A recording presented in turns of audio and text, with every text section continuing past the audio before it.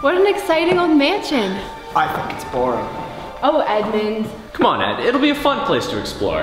I'm glad mother and father let us out to the country for a few days. I'm going to love staying here with the old professor. Isn't he a dear? Yeah, but I'm not sure I like his housekeeper.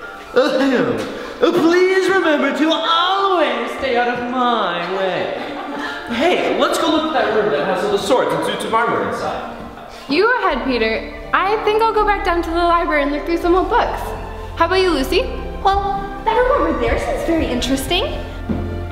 There's nothing in it but an old clock and a big wardrobe. But it's the largest wardrobe I've ever seen. I'm gonna take a closer look at it. Come on, Ed.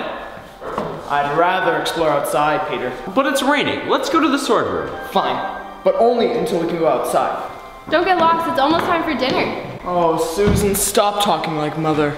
Well, somebody needs to be in charge since mother and father aren't here. Lucy, come downstairs to the library with me. It'll be a lot more fun than an old room with nothing but a wardrobe in it. Lucy? Hmm, I thought she went in there. I guess she changed her mind. Well, I think our stay here is going to be quite an adventure. Quite an adventure indeed.